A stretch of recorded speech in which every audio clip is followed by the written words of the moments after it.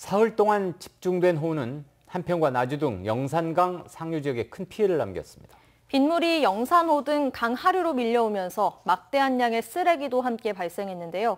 쓰레기띠로 둘러싸인 영산강, 김진선 기자가 현장 취재했습니다.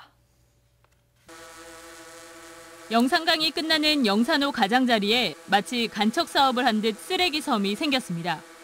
사흘 동안 집중된 폭우로 영산강 본류와 지천의 쓰레기가 쓸려 내려온 겁니다. 강물과 함께 밀려든 쓰레기들입니다. 이 땅으로 보일 만큼 수백 미터까지 갖가지 쓰레기들이 밀려왔습니다. 스티로폼과 페트병 등이 수초와 잡목들과 뒤섞여 영산호는 거대한 쓰레기장이 됐습니다. 내가 살면서 이렇게 생긴 게 처음인데 이거 안 치우면 악취나고 큰일이죠. 정부에서 얼른 빨리 해야지.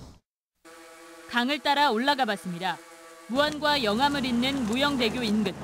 역시 강변을 뒤덮은 쓰레기를 종일 중장비로 걷어내고 있습니다. 거센 빗줄기는 인근 자전거 도로로 사용되는 제방 언덕에도 3m 깊이의 구멍을 뚫었습니다. 이번에 비가 많이 오면서 수위가 높아져가지고 물이 그쪽으로 스며들어서 이렇게 발생한 걸로 이렇게 판. 사흘 동안 280mm의 많은 비가 내렸던 한평에서도 복구 작업은 분주했습니다. 하천 옆 방앗간과 식당을 비롯해 주택 100여 동이 침수된 상태. 공무원과 자원봉사자들이 일손을 돕고 있지만 주민들은 막막한 마음을 감출 수 없습니다. 아 지금 눈물 날 것 같아 진짜로 마음 이제 말을 어떻게 하니까 잘 안 돼요 사실. 영산강이 시작되는 담양과 나주에서도 인명피해는 물론 변온이 침수되고 하천 제방이 유실되는 등 집중호우로 인한 피해가 속출했던 전남.